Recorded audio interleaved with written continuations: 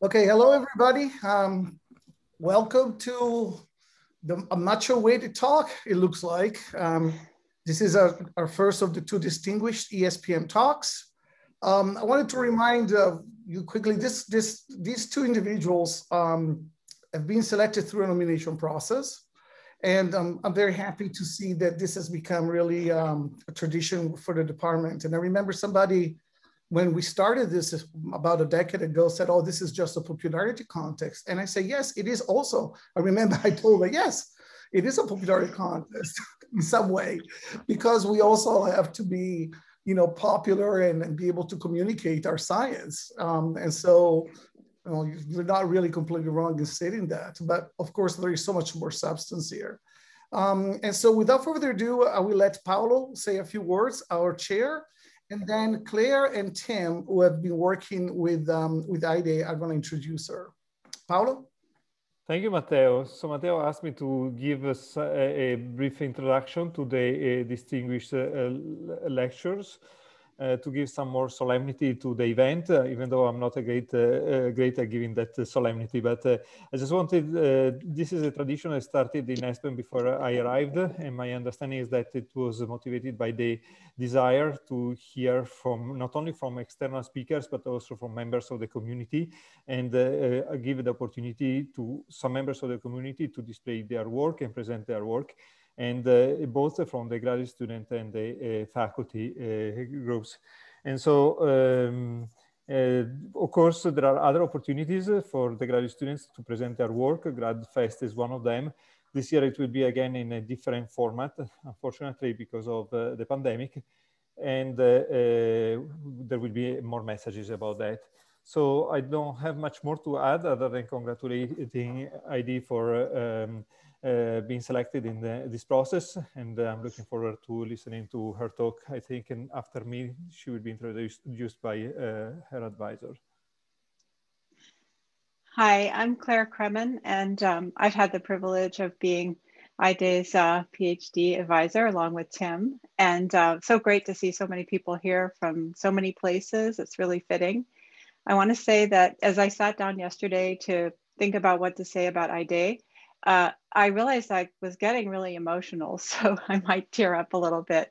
Uh, I just feel so proud of her, but even more so, I'm I am truly grateful to Aidee for the opportunity to have been part of her intellectual journey as she's continued to develop her scholarship and her activism during her graduate career here at ESPM. And I say continue because when she came here from University of Wisconsin, she was already doing so many different things. Uh, in both in terms of research and uh, and and her work in so many different ways. She is a leader, and she leads in a quiet, persistent, thoughtful, dedicated, conscientious, and graceful manner. She is a true interdisciplinary scholar and someone who contributes profoundly to any endeavor that she's a part of. And something that um, you probably all know is that she does really complex uh, dissertation work that blends a lot of different fields, including soil science, pollination ecology, molecular lab work, and heavy duty statistical modeling. But you might not know that while she was doing all this stuff, she's also been working on several side projects, um, analyzing uh, interview data and socio-ecological data in conjunction with several large research teams, both at Berkeley and also um, with SESYNC. And somehow, somehow she's found time to do all this heavy lifting and research, but she also mentors, um, has mentored high school students and undergraduate students since her very first year, including several students that wrote senior theses and a large number of students from underrepresented minorities that she's trained while integrating them into her research. And of course, she's done a lot of teaching and um, including her, her famous anti-racism seminar this year. Um, and when you talk to Aidee about her research, uh, there's an excitement that she brings to both her environmental and social work that I feel is almost palpable. You can really feel it. And I think it comes from her intellectual curiosity, which she has about so many things like soil microorganisms and bees and ethnobotany and soil and molecular processes and food systems and a lot of things. And the passion she brings to her research is also comes from her lived experiences of disadvantage and systemic racism and her desire for a just world. She is a powerhouse researcher, and I'm so glad that she's being honored. As a distinguished ESPM graduate student speaker, I can't wait to hear her lecture. Uh, but first, uh, I'm going to pass it on to Tim, who has um, more things to say about her. Thank you so much, Claire. Thanks, Claire. It's such an honor um, to be here with Aidee. Um, I first met Aidee when I interviewed for this position, and then again a few months later before I'd actually started. And Aidee had reached out um, to talk about kind of her early research ideas. And she was thinking about how mycorrhizal fungi might affect bees, might affect pollen and nectar and pollination visits and different types of agricultural systems. And I remember thinking at that point, like, wow, this is super ambitious trying to connect all these below ground and above ground interactions, which are you know tough to get at by themselves all while looking at how management mediates them. She'll, she's definitely going to have to drop some parts of these questions narrow down a little bit. But as you'll see what what the hell did i know?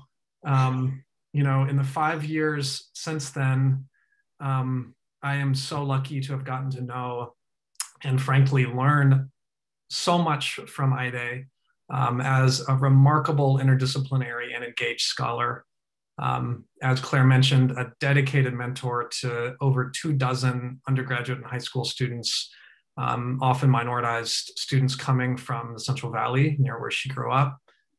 Um, as an enthusiastic and supportive collaborator and lab member, a critically constructive department community member.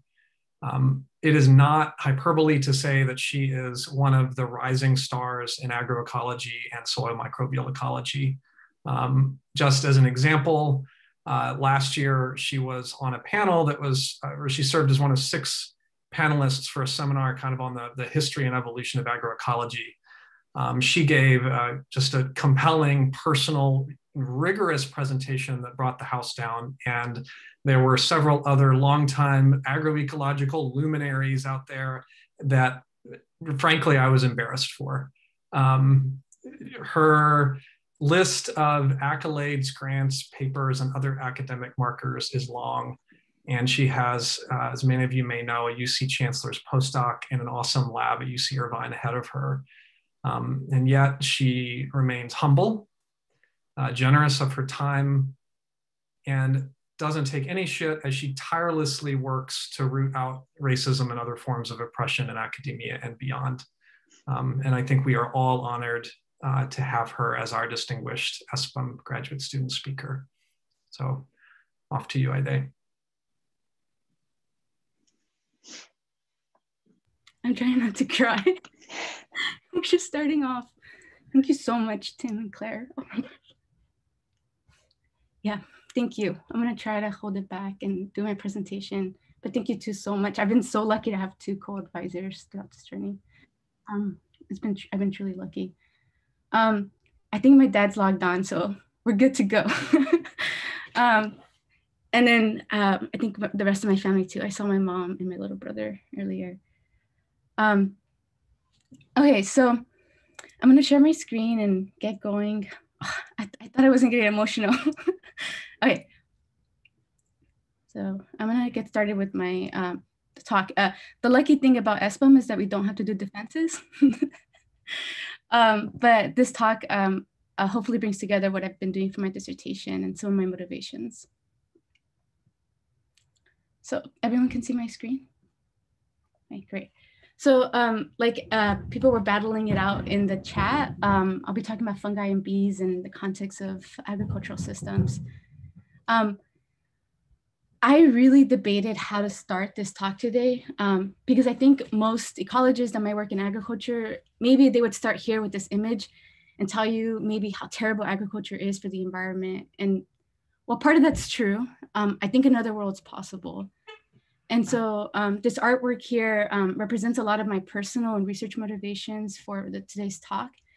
Um, it's a print by Ricardo Levins Morales. In the background, you see a coffee monoculture. It's sun-grown and in the foreground, you see a reimagining of this landscape, a diverse agroforest, a shade-grown coffee. So today my goal is not just to talk about the bad things about agriculture, the negatives, but also talk about the possibilities and the joy that um, agriculture can bring. And I think the reason I think about this a lot has to do in part um, where I grew up and my family's history. I grew up in California, San, oh my gosh. I grew up in California, San Joaquin Valley in this like tiny little town, um, just north of Fresno with about like 5,000 people or so. And, um, you know, a lot of people think about the San Joaquin Valley as like the epitome of industrial agriculture. And I was surrounded by this growing up. And I also like calling it the belly of the beast in terms when we think about agriculture. And, you know, most people know of this area as just driving down I-5. Um, and I've actually seen a lot of really degrading maps calling the Central Valley stinky or just the part you drive by. Um, but for me, it's home. And my my parents left Mexico um, to come here and work. Um, this is a picture of uh, where my family's from, which is a tiny little town again in Hidalgo, Mexico. And according to my dad, he came to the uh, the San Joaquin Valley in a tiny town because uh, Florida was too humid and Washington was too cold. And so um, here's a picture of my dad coming home from work, and they came to the San Joaquin Valley, um, and my mom and my dad, and they were farm workers growing up, and um, you know, it was a really um, illuminating experience to grow up surrounded by that. And yeah, and here's my sister and I uh, by the canal fishing. So growing up, I thought canals were rivers and we would go fishing in them. It's a thing you do in the San Joaquin Valley. Um, but a lot of people also, um, you know, of, you know, uh, the Central Valley as, you know, an agricultural powerhouse. Can people hear me still? I'm getting a frozen screen.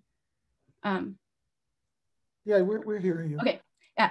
And so, um, and it's, and it prides itself in producing nearly 40% of fruits and nuts consumed in the US. Um, but most of it looks like this. It's this giant monoculture landscape of industrial production of fruits and vegetables. And and you know while it's monocultures yes there's a lot of different things that are being produced here like almonds and oranges strawberries walnuts etc um, but most of it looks like this. Growing up you would drive for a couple minutes and you'd still be in the same field. It's really really big plots of land. And one of the things i miss most about where i grew up are these sunsets. Um, this photo is actually just right outside of where i grew up. And i've had so much nostalgia when i first went away to college for these dramatic sunsets. But as i learned through the years um, the intensity of the colors is sometimes attributed to the pollution in the air and so growing up, it's always made me wonder why such this like open landscape could be so polluted. Uh, because many people like myself, you know, got asthma and it was kind of this rite of passage. At one point, you know, you had asthma because of the air pollution. And so, you know, air pollution is one of the things that people bring up as an issue in San Joaquin Valley. Um, people also bring up the fact that natural habitats are nearly inexistent as monocultures have dominated this landscape in the past century and that there's a number also of labor injustices get that get that are prevalent in this region. Um, agriculture production in this area is also um, dependent on an irrigation system that's fickle to drought. And you probably see these signs a lot um, down I-5 of farmers wanting for water. And while perhaps comical from the Bay Area standpoint, there's actually a big issue. Um, and part of it has to do with the fact that, you know, here's actually a town, an aerial image of the town where I grew up and you see the rodeo where the jaripeo happens and it used to flood a lot growing up and um, but then it's you know stopped flooding less and you know drought became a big thing. And like i said it has been a big issue in the area and some farmers have had to abandon their fields. But i think i told you i wasn't going to just talk about the bad things about agriculture and um, and like i said i know there's another type of agriculture possible and most of it is because my family reminds me of it. Here's two photos of where my family is and it's a plot of land that my family farms in mexico and here's uh, my dad and my uncles um, harvesting corn. And it's these, these corn that my family seeds that they've been growing for generations in this area in this, you know, integrated corn and bean field. And every time we go, um, it's, it's, a, it's an event to be able to um, harvest this corn. But I'm also reminded of other farms. Like this is a photo I took at Pie Ranch. Um, and here you see the little chickens in intermixed with the, the vegetable farm there. And also this aquaponics system, it's managed by my friend's Leka sister in Hawaii. And it's such a reminder of how connected we, how food is so connected to both the ocean and our land-based um, systems. So today, one of the guiding questions for my dissertation is how do we make agricultural landscapes work um, for people and the environment? And so for my dissertation and for this work, I decided to come back home. And so my dissertation has been mostly based out of the San Joaquin Valley. And it intersects um, these different components from soil, bees, farm management, and also understanding how we can support uh, farmers of color. And so throughout today's presentation, I'm gonna take you through a couple different components. Um, one, I'm gonna look at how farm management affects um, uh, pollinators uh, above ground. But also I always, one of the reasons why I came to this like below to above ground is because I kept thinking when farmers implement a practice, it's not just affecting one group of organisms, it's affecting a lot of different organisms. So I'll also talk about how it affects AMF communities. And then I will uh, um, talk about how uh, connecting these two, the possible connections between these. And ultimately, I'll talk about the effects of drought. I won't be able to cover every piece of this in detail, so you'll get sort of a snapshot of um, these different components of my research. And so, like I said, my research has been here in the San Joaquin Valley, and we know that this region is a big, giant agricultural powerhouse. But if you ever driven off, I, off of I-5 and you actually meandered into these roads, what you would find is these really small scale diversified farms. And they're um, embedded within this, this uh, landscape. And on these uh, farms, what you find is a number of different uh, crops being grown. Um, in this video here um, uh, was shot by Wenjing. It'll play in a moment. Um, and on these farms, what you find is a lot of um, mixed vegetable crops. You find around 50 to 100 different crops, and they're really diverse. It's from ginger, sweet potato, lemongrass. I've even seen papaya growing here. And even though these farms like represent such a small percentage, percentage of the landscape, it represents actually around 2,000 um, farmers. And so shout out to Wenjing for shooting this video for me out in the field. And so who are the farmers? And I think this is important and I hope everyone holds this um, in their mind while I talk about the different parts of my research. The farmers uh, farming on these small uh, uh, pieces of land are predominantly immigrant refugee, refugee farmers who are farming, farming on land that's marginal and that it's been previously managed as monoculture. So they took some land that had been managed as monocultures and then uh, put in a really diverse cropping system. And just some beautiful photos of all the different crops to give you a visual of it. And then um, and you can see sort of bitter melon and lemongrass, et cetera. And um, here's also some maps that an undergraduate that worked with me uh, made where we uh, mapped by row by row which crop is growing. And so um, for my dissertation, I started to compare, you know, these monocultures to these polycultures. And part of it is that we know that simplifying landscapes negatively impacts biodiversity and ecosystem functioning.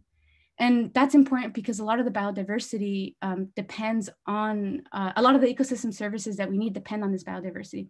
In an agricultural system, the biodiversity can both be above ground and below ground. So including pollinators, crop diversity, and below ground fungi. And so I was curious, what happens when you go the opposite direction? What happens when you go from a really simplified farming system to a more diverse farm in this, in this region? And um, I decided, you know, especially in a region that's been uh, so heavily managed. So first, um, I decided to look above ground. So let's look at what's happening with the pollinator communities. And specifically, I was curious uh, what the effect of diversifying farms um, would have on specialist bees because they tend to be some of the more rare um, groups of bees in landscapes. And I decided to focus on the squash, uh, squash bee uh, pollinator system. And, um, and the reason why is because squash has um, separate female and male flowers and people love gendering this, but basically what it means is that there's flowers with pollen and flowers that need to receive the pollen to be able to reproduce fruit. And the flowers have a really short window of time to be pollinated because they open really early in the morning, close by midday, and they're only open for one day. And so squash bees are actually a really good um, a pollinator of them because um, they're they open they wake up really early in the morning um, to uh, be active.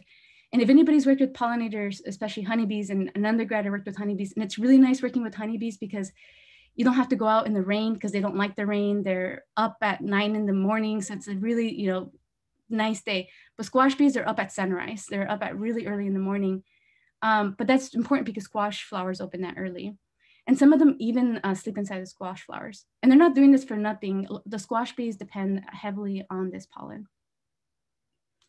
And so, um, you know, one of, one of the things we came in is, uh, so then I decided to compare the monoculture and polycultures. And someone on my qualifying exam committee were like, do you really think you'd find more squash bees on polyculture? And I was like, since the squash monocultures provide so much squash pollen. And I was like, oh, you might be right. And so I was like, okay, yeah, maybe mono- squash monocultures might be really good for squash bees. And so we came in with the prediction that you know, we would probably find tons of honeybees because they're everywhere, and we would find tons of squash bees on, on monocultures.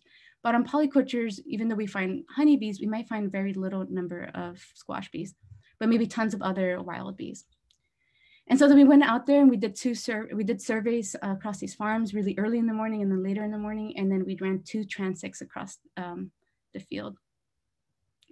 And we find this actually the opposite of what we expected. We find the crop diversification actually supports specialist pollinators. We find that there's a higher abundance of squash bees on polycultures. And we also find that as the surrounding agricultural land around polycultures increases, they support even more squash bees. And while not significant, we also found that squash bees, uh, uh, the amount of squash bees decreased on monocultures throughout the morning, but not on polycultures. And so to just recap really quickly, what we find is that um, we find tons of honeybees, and I'm not showing this data of on, on, on monocultures and also on polycultures. And, but we actually don't find a lot of squash bees on, on monocultures, but tons more on polycultures. And we also find a, a, a greater number of wild bees. And so why might we find these results? Part of it might be because the polyculture farmers are planting squash over space and time.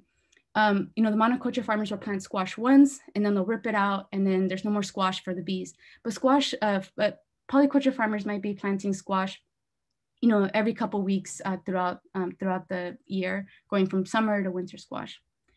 The other thing is that squash bees not only need pollen, but they also need nectar. And so the polycultures might be supporting um, a greater diversity of nectar. And so now we know that, you know, uh, farm management, farming for more crop diversity might support uh, pollinators. And next, um, we decided to look at the below ground communities and specifically arbuscular mycorrhizal fungi. And I really fell in love with these throughout my, my dissertation uh, research. They're um, symbiotic uh, fungi. And um, before I kind of give you more details, what you're seeing here is a stained root from one of my samples. And the little like darker bluer areas are AMF. And so they, they go inside the roots.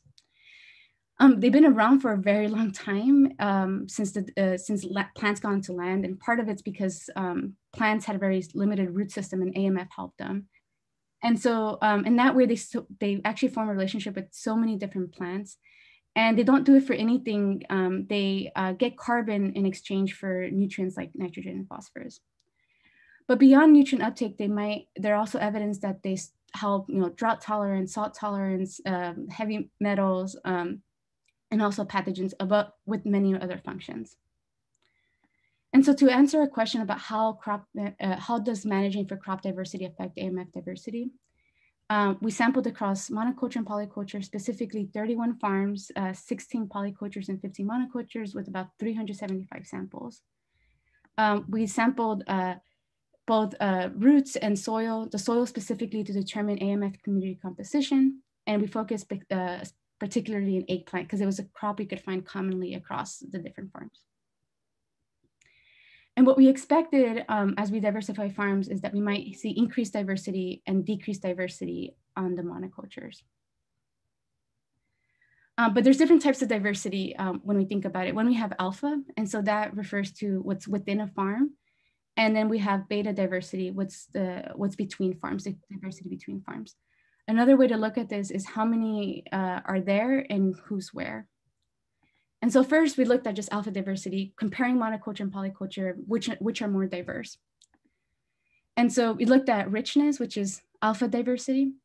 And what we find is that uh, polycultures have nearly twice as many on average AMF. And this is important because as I mentioned, a lot of these polycultures had been previously monocultures. So it shows us that crop diversity can be key to sort of bolstering below ground diversity and supporting these multiple functions even in systems that have been previously managed intensively. Next, we decided who, who's where. So, you know, we know how many are there, but who's where and how does that uh, compare? And who's where can also be uh, uh, a way to think about this is what drives the uh, community composition across an agricultural landscape. And what we know for some of the literature is, um, and this is a, adapted from a recent paper by Bala Chaudhary, is that the way AMF traveled throughout the landscape is that uh, tillage liberates these spores and then the spores are you know, flown across in aerially and then they're deposited uh, on the soil. And then, um, then they land. And we still have some um, questions to, uh, about how, what determines the successful establishment of AMF. And so what determines who's where in our agricultural landscape. And so there's a number of different factors can affect AMF community composition, especially within um, an agricultural landscape. One of them being the soil environment and, and farm management and geographic distance, and the other being stochasticity. And so here you'll see in the next slides, four different farms, and I'll go through them. So first, um, we decide, and then you also see these AMF spores. So um, first, uh, we looked at, we could consider soil environment as a predictor. We know it, there's uh, pH is a really well-known predictor for AMF community composition. And we might expect at different values of pH, we might expect different AMF communities. And the same could apply for different levels of phosphorus, nitrogen, and carbon. Or maybe perhaps farm management as a whole, regardless of the soil environment, might affect um, the community uh, composition across these farms. So in this case, we might find you know, similar communities at polycultures versus monocultures. Or actually, it might just have to do how close farms are, especially if they're moving across the landscape, uh, determining um, how, um, how similar the communities are. And so we might find more similar communities with farms that are closer uh, to each other. Or maybe none of these matter and you know AMF are just everywhere and there's not really strong drivers uh, determining what's in the community. So um, to test this, uh, to partially test this, we used generalized dissimilarity modeling. And basically tests the relationship between community composition over different environmental gradients. And so what you'll see in the next slide is a plot that looks like this. Um, this y-axis is sort of a measurement of how different the AMF communities are, so changes in the AMF community composition or beta diversity. And then um, the x-axis is the standardized values of each variable that we tested, including nitrogen, phosphorus, carbon, uh, and um, also spatial distance and crop diversity. And then you'll see some lines that look like this, and the shape of the line tells us how the change is happening. And so, um, you know, first looking at, uh, so, so the next plots will show sort of the predictors that emerge as significant. I'm not gonna show the curves of the, of the predictors that were not significant. What we find first is that geographic distance um, affects the community composition across both these farms, and that the changes are even more rapid or nearly linear for polycultures, whereas in monoculture it plateaus. So they become more similar as geographic distance increases. And then for the soil environment, we find that pH, which is already a known predictor, emerges as important. And in monocultures only, we see that changes in AMF plateaus with increasing phosphorus. And then um, looking at crop diversity only, so this is a, the number of crops on a polyculture. Obviously monoculture only has one crop, so we couldn't look at the changes. We find that AMF, uh, the differences in AMF or the heterogeneity in AMF community increases with crop diversity. So altogether with alpha diversity and beta diversity, what we see is that polycultures could support a more diverse AMF community and perhaps across the landscape over time could support even even more diverse community. So, um, you know, this is what we see with um, farm management affecting AMF. But one of the main reasons why I even was really curious about looking at AMF, um, like Tim said, is because I was really interested in the way AMF might affect pollinator communities. And partially it's because we know that AMF communities help plants take up nutrients. And then we know if the plant, the plants goes to reproduce, they might allocate a lot of resources to the flowers for pollinators to come and visit them so that they can uh, reproduce fruit. And so to test this, um, we set up an experiment in the greenhouse and we grew plants with AMF and no AMF. And then we also grew these plants with low phosphorus and high phosphorus to test the effect that AMF had in the presence of very low nutrients. So if there's low nutrients, do AMF help the plants take up more nutrients? Or if there's high nutrients, do the AMF or do the AMF even help in those in that scenario? And so then we grew plants inside a greenhouse setting with, um, we grew squash plants like the like we used in the field in the sterilized mixture. And then once it began flowering, we transferred these to a field setting. And we measured then a number of, of traits, including uh, floral traits, AMF, and plant traits. And we also measured uh, pollinator visitation. Unfortunately, we weren't able to get fruit set. So uh, digging a little deeper into the measurements, um, we looked at biomass for plant traits. Um, we looked at AMF traits, hyphal length, root colonization, and spore count. And by root colonization hyphal length, what I'm referring to is root colonization is how much of the AMF is inside the roots, and hyphal length is how many um, of these thread-like extensions of AMF are in the soil, which are the nutrient transportation system. And then we also measured a number of floral traits uh, relating to nectar, pollen, and even the size of the flower. And then we took, we uh, kept track of how many bees were visiting these plants. So first we decided to look, okay, where did our treatment, were our treatments effective? Did we see an effect on these different traits? And so in the next slides, you'll see um, a dot that would denote that uh, one of these treatments had a significant effect, and then the color will refer to these different treatments. What we first find um, is that AMF um, had an effect on nectar volume, pollen protein, and number of flowers. So when AMF was present, um, the volume of nectar and the amount of protein was larger and even the size of the flowers. And as expected, we saw an effect of, of AMF on hyphal length and root colonization when it was present. And then we also saw that plants that were inoculated with AMF had a greater number of visits. We also saw that nutrient treatment affected um, the size of the flowers and also, as expected, the root colonization and hyphal length. And that's because, you know, the uh, plants might not uh, colonize, uh, AMF might not colonize plants when there's a lot of nutrients. And then we also find an interaction as expected with our AMF traits.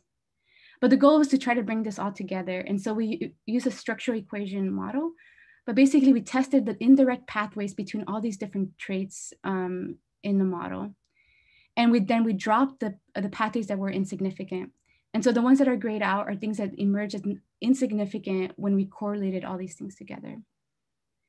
And then we saw that the number of visits was uh, especially driven by flower size. So the bigger the flower, the more number of visits. But we also observed that the size of the flower was uh, correlated with hyphal length and root colonization, but in opposite direction. So as there is more hyphal length, so what helps the AMF take up nutrients, the bigger the flower, but the more root colonization in the roots, the smaller the flower, perhaps indicating some trade-off with the, the size of the flowers and the plant allocating carbon to the AMF. And so together we find that pollinator visitation is AMF mediated, especially via flower size. And you know, what does this mean in the context of, of the different research I've been doing? Um, one, we know that on-farm diversification can support specialist pollinators, that crop diversity might increase the AMF communities in, even in farms that had been intensively managed, and that pollinator visitation might be driven by AMF. Um, and so together, it, it sort of indicates in a small part that agroecosystems are dependent on this below and above ground diversity. And so, you know, that together takes us to a little small step forward about understanding how we can make ag agricultural landscapes work for the environment and people. But as I indicated, in, this, in the region I've been working in, drought has been a big um, factor. And in particular, um, the last major drought, um, a lot of people were like, you know, our farm's gonna survive in the area. And so, um, you know, ecologically speaking, uh, there's evidence that increasing diversification, like, like polycultures, might bolster the ecological resilience of farms. For example, AMF helps plants deal with tolerance. And so one might expect that ecologically diversified farms might persevere in the face of drought. So we tested this by documenting agriculture land use change uh, through the last major drought um, uh, by documenting both uh, the presence of polycultures and the different crop types.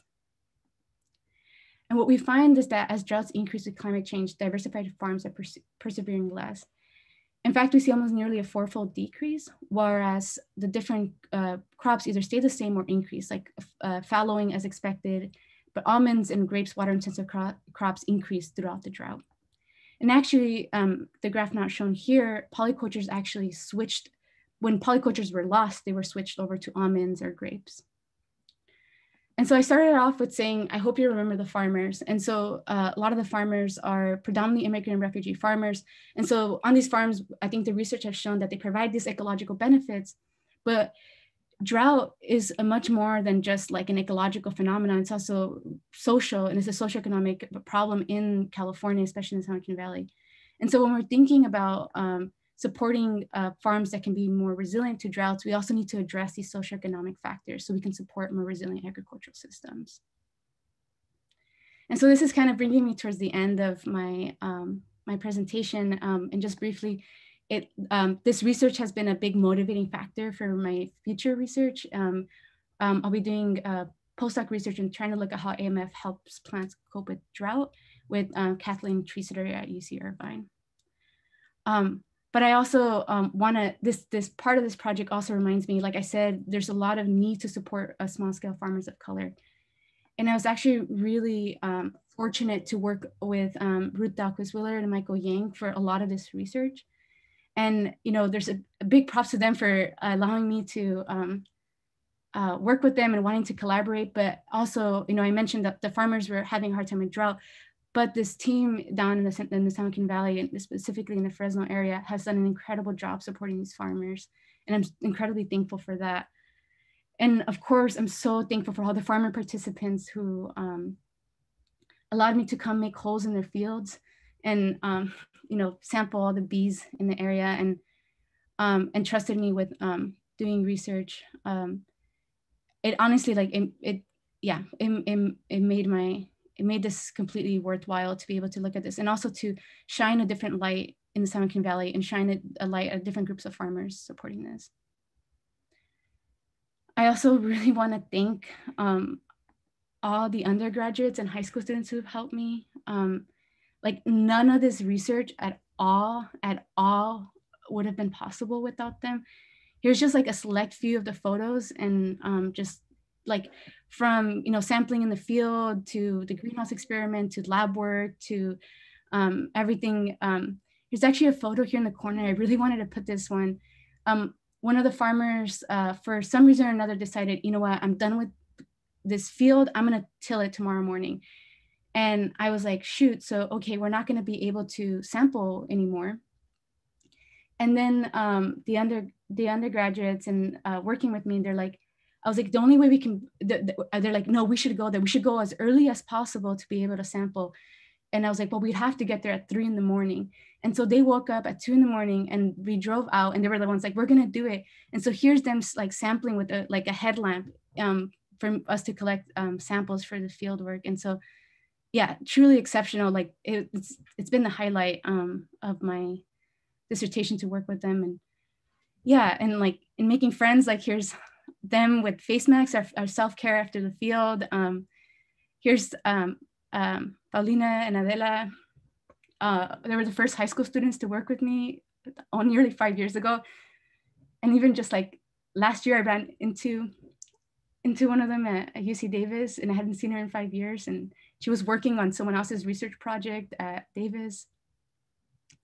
And it's just been so much fun. Like they've kept my spirits up this entire time. And so thank you all so much. Um, also, I want to thank my incredible mentors and advisors. Um, I, I, I'm such a big proponent of mentorship and I don't know if my undergraduate mentors are here, but Juan and Christelle, like without them, I wouldn't have gone to do a PhD and also Claire and Tim and obviously the, my whole lab, um, labs, Kremen lab and the Bowles lab, um, I like I said, I've been so lucky to have two labs throughout this journey. And um, the Firestone lab before Tim came, um, I'm gonna admit I'd never worked with soil before I started my PhD at all. I never used an auger. And then Rena from the Firestone lab, I asked her if I could use an auger, not knowing exactly how I was gonna use it. And then she so kindly just said, you want me to show you how to use it? And then she sat with me and just like showed me. And then it just became this uh, like such an immense source of support from Rena and Anna, just showing me all these methods and getting started. And without them, like I just wouldn't have been able to do this. And of course, my uh, dissertation committee, including Mary and Britt and Kathy. And Kathy's been such a big source of emotional support in all our long rides doing interviews and um, talking shit about everything. Um, thank you so much, Kathy. I also want to thank my family so much. Um, gracias. Yeah. Here's my siblings. So As you can tell, they're a lot of fun. We have a lot of fun together. And I have a big family. Here's my little brother. Um, he was really young when he started. He was like two years old when I started my PhD, and now he's seven years old. And I especially want to thank my parents, um, my mom and my dad. I showed this photo because my dad, like, one time he drove up randomly and he brought this big box of nopales and cantaloupe and he just started peeling them for me when he showed up in my living room so that I could have nopales and cantaloupe. And like, and his friend showed up and they just spent like an afternoon cleaning nopales for me in my living room so that I would have some food from, from their home. And my parents have been just an incredible amount of support, you know, like they're the reason why I've done all of this and like the source of inspiration why I decided to work on agriculture and they're an inspiration um, for everything. So thank you so much. I don't want to cry more. And then I want to thank also my friends from the get-go, like um, Erica, who's been my friend since I've been eight years old and just stuck with me through all my shenanigans, and my friends from undergrad, Diana, who's also doing a PhD, and we've been through this together. And you know, it's here like two two kids who had never been out to an arboretum, you know, in in college and doing it together, and it's been amazing and also all the incredible support I received through my PhD. It was really hard in the beginning, but all these people on these, on these photos came out and supported me. Leke here has his calls tomorrow, so please send out good energy. Uh, he was an undergraduate working with me when he first started out, and he's become one of my closest friends uh, throughout this process. And here's like, here's him saying like, so like, like here, we need, he's mad about us not having more agroforestry systems. And all the, I, all the other people in here, um, that I've just like been there and just like um yeah just told me I could keep going when I felt like I couldn't. And even Alexander showed up two nights ago to make sure I had my presentation done. Thank you. Um and then lastly thanks to Rodolfo here's some of his graduation my, my undergraduate graduation and here's a photo of him in the lab always waiting for me to finish things he's right there on the side. And it's just been, you can see his energy just, just been so, so wonderful and so gentle through all of it. But I wanted, I wanted not to cry, so I just wanted to end on all the dogs in my life, so people could have an uplifting. and I have a lot. I have two dogs now. I no one knew. and here's all. Thank you. All the dogs have been in my life throughout my PhD. Um, thank you. And you know, funding and stuff. Thank you.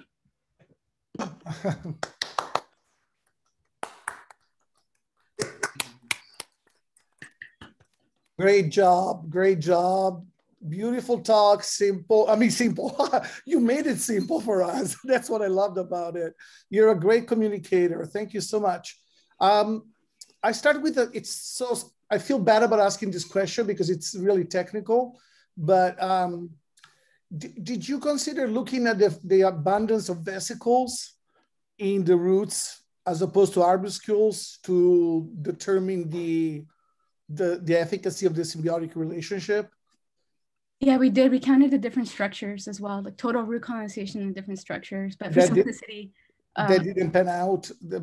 Um, no, it didn't pan out as as a thing. Um, yeah but there's sort of an idea that like these different structures might indicate different functions for amf but we did test those yeah maybe something that you can uh, look more into yeah. your drought study i'm yeah. sure thank you so much yeah you want to read the questions from the chat or do people want to ask the questions I, I don't I don't know if I can see all the I think everybody just congratulating you. So maybe we can open the floor to questions. Thank you all so much it feels really surreal.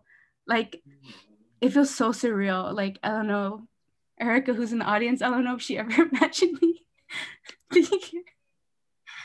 Um, I never when I was in yeah, I never imagined myself. If you would ask a high school, I, I would have never imagined myself being here. surreal. By the way, you had uh, over 180 attendance, 185. Uh, I've organized the seminar for 10 years and this is the highest number we've ever had. So for you to know. Thank you all so much. Questions for Aidee, please? It works out. And I went over time. I'm so sorry. Oh no, it's good time. Oh, huh? No, you're, you're perfect in time too. That too, you know. Uh, Okay, we have three three hands up. I think I don't know that I don't know how to do that, but you know how to do that, right? I did. Yeah, go for it. I'll just do the first one, Ted.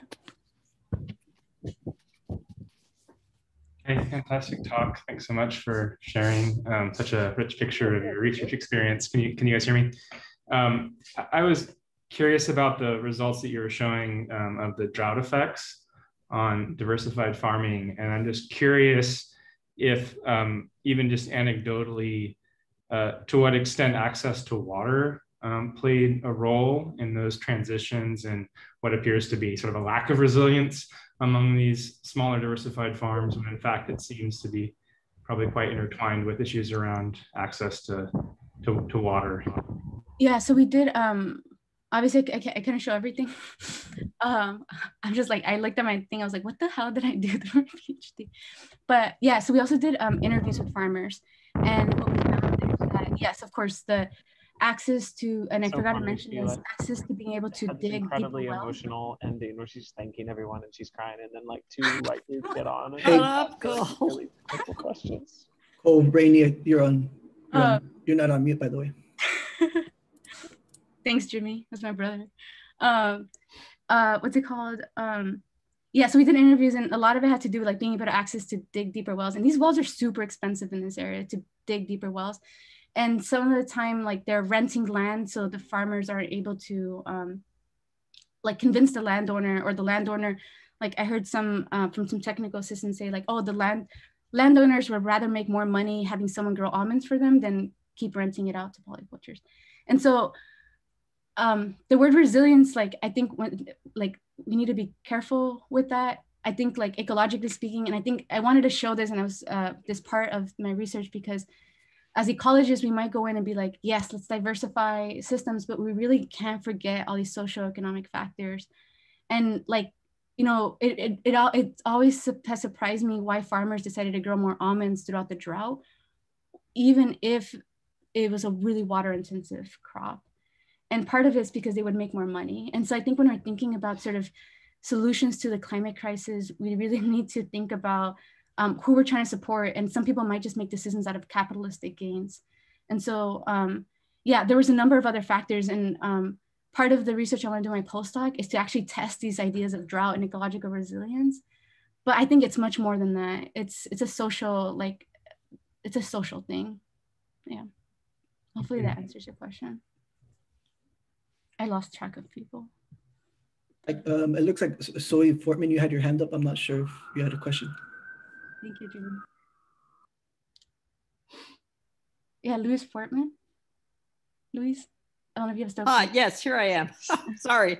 Thank you. That was fantastic today. My socks flew across the living room. Um, I was curious. So you, first of all, you did what looked like incredibly intensive data collection of, of, of biophysical data. And then you, on top of that, went around and interviewed farmers, which is also a whole lot of work. Oh, okay. How would you tell um, the, your students that you're going to have about okay. why it is or isn't important to do both biophysical and social, and how they can prepare themselves to do that? Yeah. Um, so I've had a lot of people like, right, so I kind of want to, there's multiple things that come to mind. One a lot of the research that i'm able to do comes from basic research too. like doing these really deeply mechanistic types of studies. And so that's not to discount like that type of research.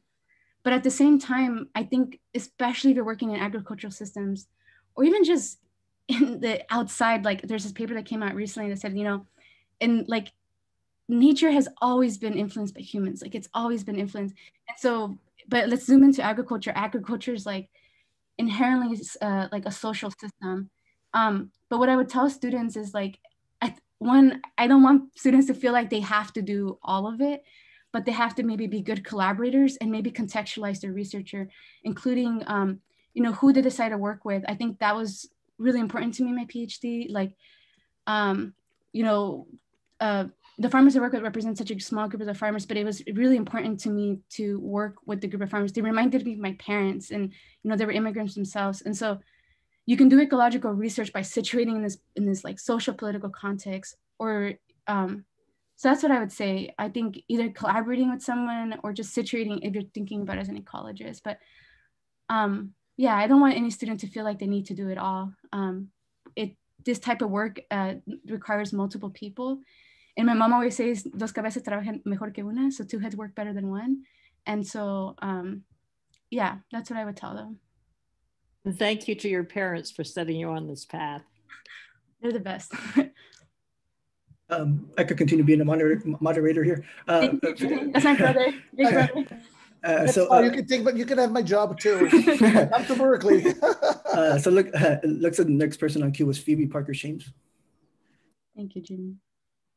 Hey, Day, that was fantastic. Just uh, the beautiful exemplification of like everything I think ESPM strives to do. Um, so thank you so much. It was beautiful, moving, um, inspirational, fascinating, all of the superlatives. Um, I had sort of two questions. One, did you make all of your own like drawings and like graphics because they were amazing? And then the second is so you've done a really beautiful job laying out sort of why these farms are so important and also how even amidst sort of the stressors that we need them for, they're threatened um, and in decline. Do you have sort of thoughts or insights into how to help support or protect these farms and their farmers?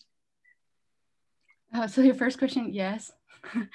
um, I really like drawing in general, and um, yeah, I like helping communicate. And I think part of the goal for today is like at least hopefully my family understands part of my research. Um, but um, yeah, so and I think this like this like phenomenon of like small scale farms like it's like happening and like one of the reasons why uh, what it reminds me of is like um, my parents used to farm in Mexico and like they weren't able to continue doing that. And so even though they're farming this really diverse system, like they got pushed off the land. And so that's happening around the world. I feel like that dynamic.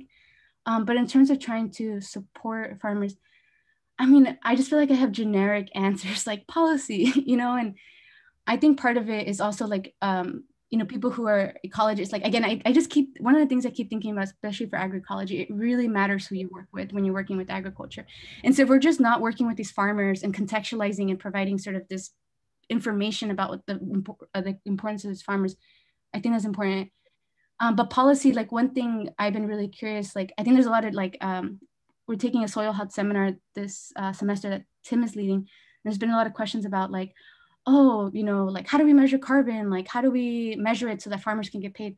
And I just been thinking like if we're just gonna pay farmers by carbon, like why can't we just pay farmers for the practices they're doing? But I don't have a good answer for you, Phoebe, um, in that, and it's something, um, yeah, I I would also want to know uh, how we can. But uh, one, oh, one thing is I work with uh, Ruth and Michael, and they're incredible, and they manage this, this the small farms uh, small farms advisor down there but part of it one of the things i talk to ruth a lot is like there needs to be more like money to support these positions across california and there's only a few farm advisors but i recently saw that there's money now going towards both like more small farms advisors but also um, uh, outreach um, outreach um, uh, uh, assistance and so um, I think that type of funding, directing that type of funding to towards that is also important, like uh, like the infrastructural support to be able to support these farmers. Yeah. And then I think. It looks like Alexis Shu Jacoby had the next question, or if, if Phoebe didn't have any other questions. Hi, Aidee. Hi. Thank you so much for your talk. It was amazing. Um, and thank you so much for your work. It's all incredibly amazing and super inspirational. And um, I like I'm about to start my PhD and I want to be just like you. Um, so I I was wondering how you went about um, integrating so many different methods into your research trajectory? And like especially how did you get um, farmers and like community participants to like weigh in on your research and the kinds of questions that um, they wanted to ask? And especially like coming in like i know that you grew up in the central valley and like had like probably connections because it was like an area that you were familiar with but like also like acknowledging that like UC Berkeley and like a lot of like powerful academic institutions have like this like inherent like power dynamic with um, traditional knowledges that can sometimes and like historically has been exploitative. So like how have you dealt with um, translating um, like community needs and community engagement into like a kind of colonial academic space and like science if that makes sense. Yeah I'll, I'll, I'll try to answer it. And i know you're from the central valley too. Right so yeah. Um uh yeah so i'm a, i think the first part you were talking about like how like this research could come to be. So um uh part of it was forming a partnership with ruth on the and with her like and kind of gets a little bit at sort of what you're saying at the end. And we had a lot of conversations like like for almost a year before like sort of like um the farmers who she was working with and like the questions we wanted to ask like we kind of spent like a year sort of like going back and forth and like figuring out this uh like the project and then um and i remember her saying like um she didn't want like a like she didn't want it to like she didn't want questions like extractive or like ethnobotany and like I love ethnobotany, but like no ethnobotanical like questions linking, you know, um, different things like that. And that like that's that's um that's something I that we definitely talked about. But um, you know, I think even just uh, when I think about my PhD research, I still just think it's a small piece. Like I don't think it gets fully even to like unpacking like sort of like colonial like structures of science and all these different things like so much like i just it's a small part and part of it is because um, i definitely came to this first from like a biodiversity conservation so i wanted to measure biodiversity and sometimes i tell people i spent my phd just counting like shit like i just kept counting stuff like all the time just counting how many bees are there i'm counting how many amf are there and it like and even throughout my phd i was like oh like i feel like i'm not able to like say something um beyond that and so um that's what I, I will say. Like, I think part of the research that I've done like shows like here's some ecological importance. But in terms of being like, like what do I tell the farmers? Do I tell the farmers like, hey, you have more AMF diversity? You know, like that still takes a while. So even myself, I feel like the question you're asking, like I'm still asking myself that question and like knowing how to do that work better and moving forward to be able to ask these questions. Um, um, yeah, so that's how I would answer that. But I think um, like I said, I think it, it matters who you work with. And um, and I've, I've had some incredible collaborators and partners in in the field for that. Yeah. Thank you so much. Okay, one one last question for Aidee.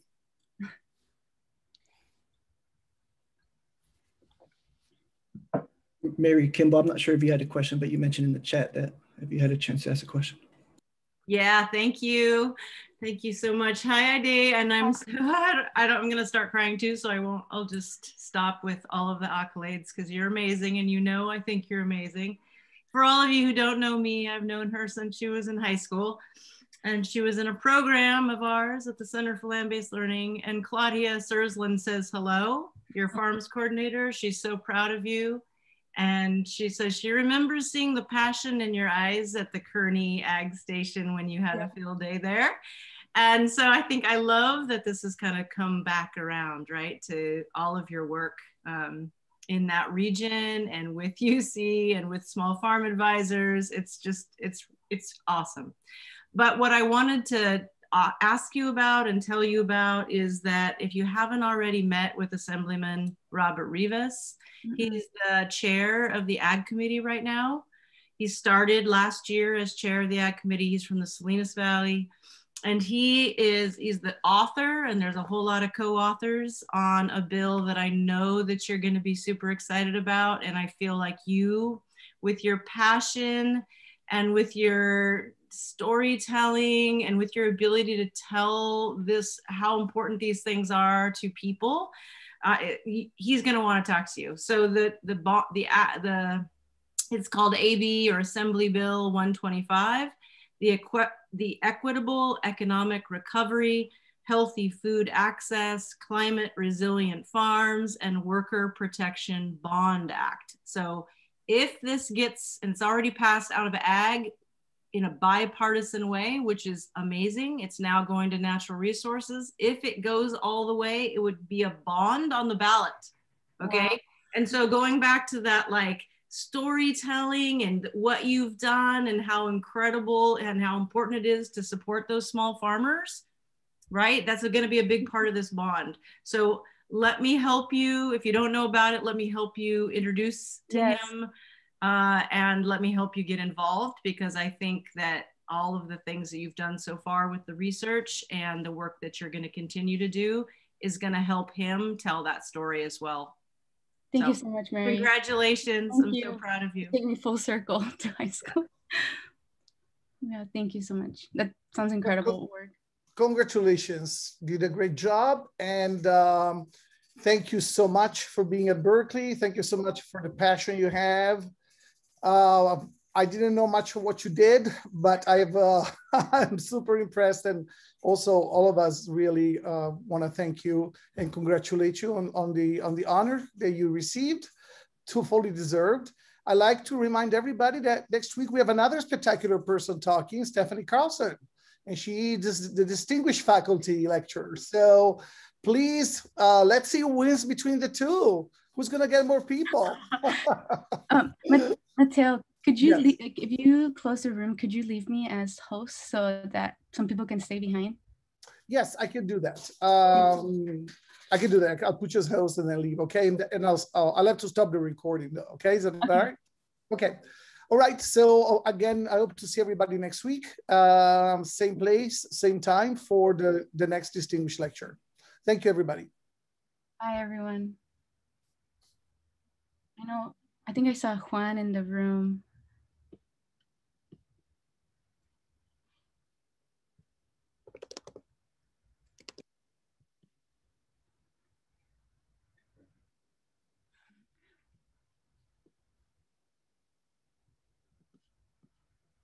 Hi, Winfrey.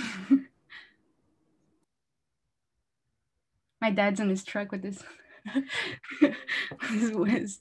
Hola, papa.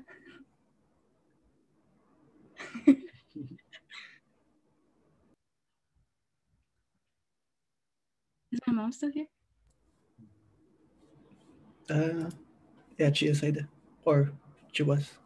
Or she's still here. She's still here. Oh yeah, she put a little dog, of course.